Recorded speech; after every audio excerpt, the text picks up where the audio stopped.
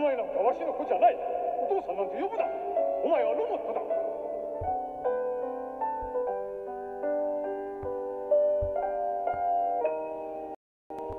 よ坊や。え？おじさん見てたよ。いやあ坊やのせいじゃない。人間のしつけが悪いんだ。お父さんはねもう僕を子供じゃないって。そうね。実に気の毒なことだ。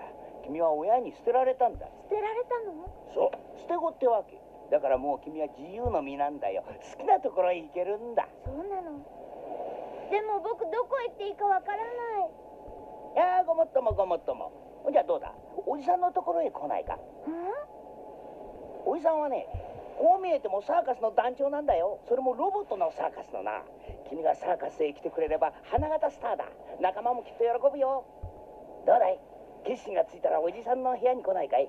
契約するんだ契約そうだ。坊やとおじさんが身内になるっていう証明書だ。坊や字書けるかい？よしよし。よかったらおいで。ロボット探す。タンカタンカタンタンタン。